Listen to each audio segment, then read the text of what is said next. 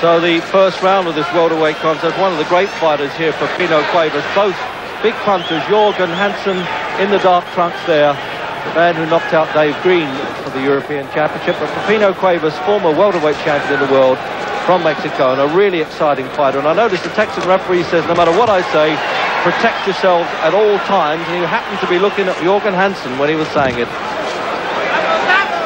Cuevas beaten by Tommy Hearns for the WBA Championship. He's had a winning fight since then.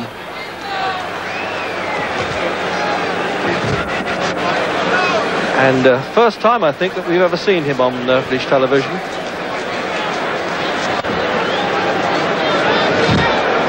But at 38, well, you wonder what Hansen's taken his chance here, and I don't think he's going to be here very long. He's a good puncher himself, but when you meet a man like Cuevas, only 23 and really full of fight and a tremendous little fighter, that it could be the exit already in the opening round for Jorgen Hansen.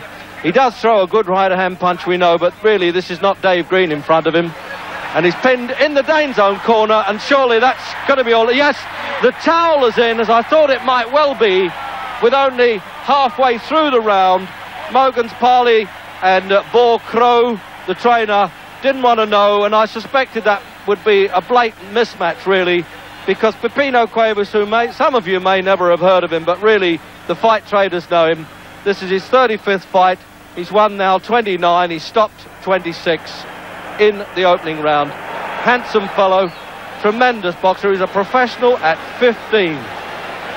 And he even keeps diamonds in his front teeth because I think he knows that he hasn't got much chance of getting them knocked out when Cuevas really senses he's going to get this fellow in the first round, the Dane carefully backs off to the corner, but there's no gate in the ropes, and they're coming from all angles.